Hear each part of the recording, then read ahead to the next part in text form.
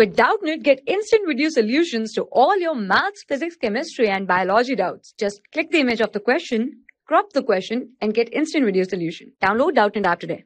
Hello everyone, the question is write a balanced chemical equation for the reaction of calcium bicarbonate and dilute hydrochloric acid.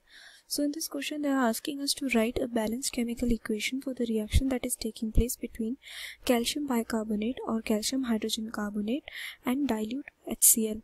Calcium hydrogen carbonate 3 whole twice plus hydrochloric acid that is HCl reacts together to give CaCl2 plus water plus carbon dioxide.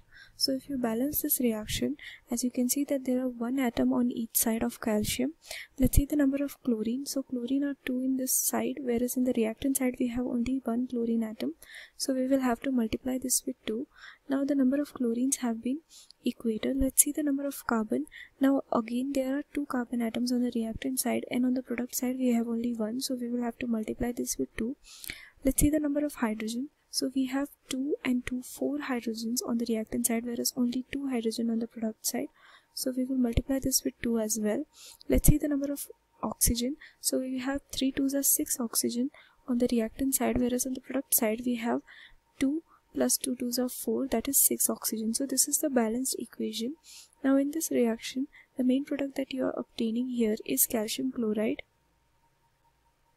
calcium chloride water is a byproduct and along with it carbon dioxide as a gas is being released so that is the answer for the question thank you For class 6 to 12, IIT JEE and NEET level. Trusted by more than 5 crore students. Download Doubtnut app today.